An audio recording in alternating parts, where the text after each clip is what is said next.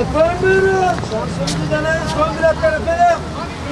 Hani fazla biletçi olmadığı için yani sokaklarda eskiden çok biletçi oluyordu. Satışlar az oluyor. Ama sokakta fazla bilet olmadığı için bizim, bizim biletlerimiz burada satılıyor. iyi ama tabii sürüm yapmaz o kadar yani. Demek istediğim şu yani fazla biletçi olmadığı için fazla sürüm yapmaz. Çok eskisi gibi satılmıyor deniyor özelleştikten sonra. Özelleştikten sonra eskisi gibi satılmadığının anlamı şu. Fazla bir kar payı vermiyorlar. Vermediğimizde birçoğu istifa etti. Bıraktılar yani. Peki özelleşmeden önce mi daha iyiydi? Özelleşmeden önce herkes bilete çıkıyordu ve parasını yatırıyordu. istediği gibi alıyordu. Şimdi milletin gücü yok. Şu an şeye göre çeyrek biletimiz 30, yarım biletimiz 60, tam biletimiz 120. Sizden hiç büyük ikramiye çıktı mı şimdiye kadar? Verdim yani. Kaç, birkaç sefer para verdim yani. Gerçekten verdim.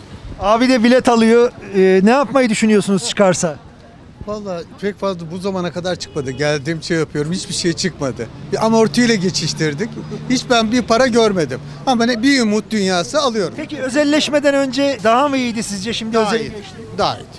Şimdi derseniz pek fazla güvenim yok.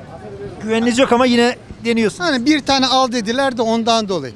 Onu da kredi kartı geçiyor onu gördüğüm için alıyorum. Yoksa nakdi olarak alacağım bir durum yok. Yok yani ona bile bir tane bir ümit dünyası. O da yılda bir defa ama dediğiniz gibi eskisi şeyim yok. Yok. Peki ne, ne yapmayı düşünürsünüz? Tam ikramiye size çıktı. Valla e, fazla bir şey çıkacağını zannetmiyorum. Şu borçlarımı ödeyecek kadar çıksa öp paşa yani öyle trilyonlar zaten bize değil. Onların yerleri belli. Onların bize çıkmayacağını biliyoruz. Eskiden çeyreğe çıkıyordu. Şu anda bir türlü hiç çıkan çıkmıyor. Alan belli olmuyor. Öyle bir durum değil. Böyle söylentileri var. Sizce gerçeğe yansıtıyor mu? Son zamanlarda benim de içim midem bulanık. Hani biliyorum demiyorum ama midem bulanık. Eskiden düşünebiliyor musunuz? Dörtte birlere çıkıyordu. Şimdi ne değil dörde bölünüyor. Şimdi çıkıyor adam çıkmıyor. Her şey muallakta.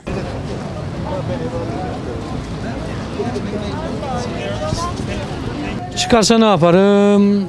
Herhalde herkese iyilik yaparım. Ben milli piyangoya yani şu özelleştikten sonra hiçbir güvenim yok. Zerre kadar güvenmiyorum. Yani büyük ikramiye çıkar diye güvenmiyorum da küçük küçük bir şey çıkarsa işte yani. Büyük ikramiyeler içinde biliyorsunuz son konuşmalar oldu 2 senedir. Bir şeyler dönüyor falan. Özelleştikten sonra hiç yani umudum yok. Bir tane aldım. Yani bir umudum olsun. Yok ama olsun işte yani. Ana planım zaten IB öğrencisiyim. Yurt dışına gitmek istiyorum. Oraya para ayırırım büyük ihtimalle. Ya milli piyangonun Ankara'da çok çıktığını hatırlamıyorum ben. Yani 16 yaşındayım. Çok görmedim. Genelde İstanbul'a veriyorlar. Çıkarsa abi bir çay yoluna villa alırım bir de Mercedes çekerim altıma piyasaya akarız. Abi bana Abi ne yaparım biliyor musun? Parayı yatırırım yani. Hemen öyle harcayıp da bitirmem parayı. Güzel bir yatırım yaparım, dükkan alırım. Güzel yerlerden dükkanlar alırım. Onları kiraya veririm. Gelirli bir gelir elde ederim.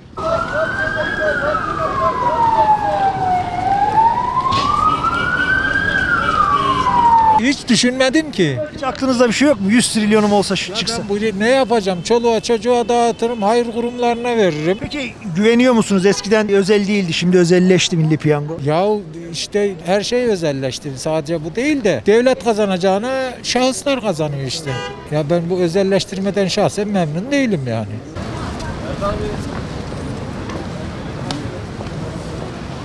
Güveniyor musunuz milli piyangoya?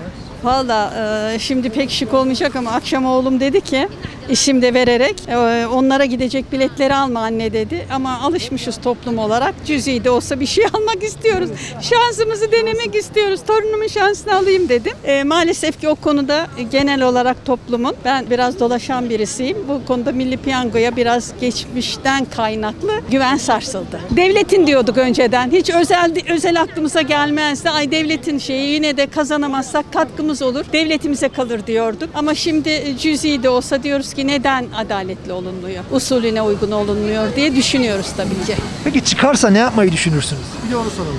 Çıkarsa e, biz aile olarak biraz e, evlatlar, gelinler, torunlar birbirimize bağlıyız. Birlikte ne karar verirsek onu yaparız. Aldınız mı? Aldım şimdi bir tane aldım. Ne yaparsınız çıkarsa? Valla ne yaparım? Çocuğa bir iş kurarım, ev alırım. Her şey çocuk için. Güveniyor musunuz milli piyangoya? Valla milli piyango Özelleşti. eskisi gibi güvenim yok. Ben eskiden 2-3 tane alırdım. Şimdi bir tane aldım. Yani o da şey olsun diye, adetten olsun yani. Gerçekten eskisi gibi güvenim yok yani. Yalan aram yani. Aldığımda 5-6 tane alır. Şimdi değil. Şu ana kadar bir para görmedik. Çıkarsa artık çıktıktan sonra düşünürüz. Hayal kurmak iyi değil. Yani eğer gerçekleşirse büyük ihtimalle yani bir şirket kurarım herhalde. Hiçbir bilgim yok emin olun yani. Öyle şansa yani her şey kıs kader kısmet. Neden? Almıyorum hiç e, ne- bilmiyorum ki acaba çıkıyor mu insanlara? Güveniyor musunuz milli piyango? Bir şüphe var içimde yalan yok. Aldım. Ne yaparsınız para size çıkarsa? Her şey yaparım yani. Parayla ne yapılmaz ki? Planınız var mı? Yok planım yok yani. Önce bir çıksın da sonra plan yapalım. Olmayan bir şeyin planı olmaz ki. Güveniyor musunuz Milli Piyango'ya?